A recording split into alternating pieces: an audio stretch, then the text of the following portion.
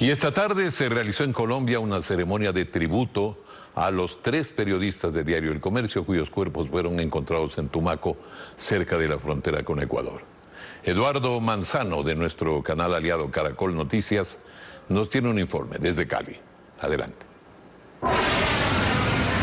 Buenas noches, estamos en las afueras de la funeraria Capillas de la Fe, a donde hacia las 5 de la tarde fueron eh, traídos los cuerpos de los tres integrantes del equipo periodístico del diario El Comercio, Paul Rivas, Javier Ortega y Efraín Segarra.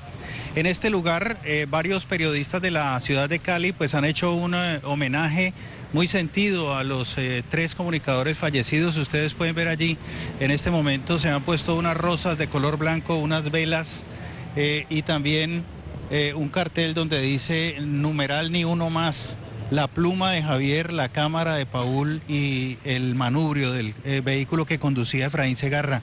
Están en este momento ilustrados aquí en un homenaje que se le ha hecho por parte de la prensa caleña y aquí hay eh, una caricatura en la que figuran ellos y dice nadie se cansa.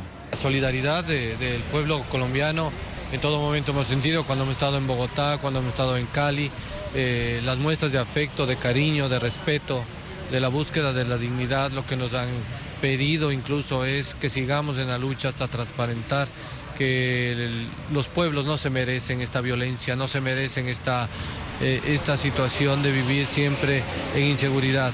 Eh, para mañana se tiene previsto, según la información que han entregado aquí, eh, las personas de la funeraria salir de este lugar hacia las 6 de la mañana, hacia el aeropuerto. Se espera que el vuelo de la Fuerza Aérea Ecuatoriana aterrice en Quito hacia las 9 y 10 de la mañana.